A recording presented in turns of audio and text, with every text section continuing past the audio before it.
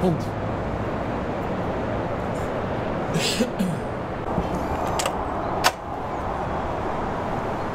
Goedemorgen. Hoe Weet jij? Harry? Ben jij jarig vandaag? Ja, toevallig. Proficiat. Oh, dank u wel. Weet je wie ik ben? Nee. Nee. Burgemeester werken dan? Oh, aangenaam. Oh ja. Zou best kunnen. Vind je het erg als we filmen? Want het is vandaag en jouw verjaardag. Ja? En er wordt vandaag natuurlijk gestemd voor de nieuwe gemeenteraad. Ja, klopt. En je hebt de stempas gekregen. Ja? Voor jou de eerste keer. Ja? En ik denk dat jij gaat stemmen. Ja? Ja.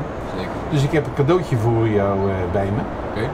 En dus eh, mogen we even binnenkomen? Voor mij wel. Ja? En vind je het erg als de camera meedraait? Oh, lekker warm hier. Hoi. Hoi. Lieve de Boer, proficiat. Dank u wel. Van de inpakpizza, dat ik maar zeggen. Ja, dank u wel. Alsjeblieft.